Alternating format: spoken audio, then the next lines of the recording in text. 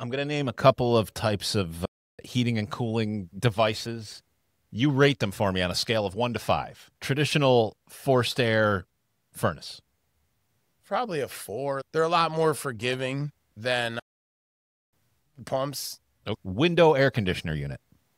It's, it's too not efficient, loud. Heat boiler system, hot hot So, water yeah, system. So hot water boilers are probably the best. I think one of Oh. the best heating systems because they give you even heat and there's no dust.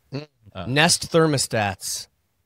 I use one at my camp. Okay. The reason I use it is because I have in-floor radiant heat that I keep on, like 50. I keep it warm throughout the winter, and I have a Nest sitting next to it just because that controls the furnace back. And if Yeah. this turns on, it alerts my phone. So I use it as like a backup. Last one I'll give you, Chad. Our heat pumps.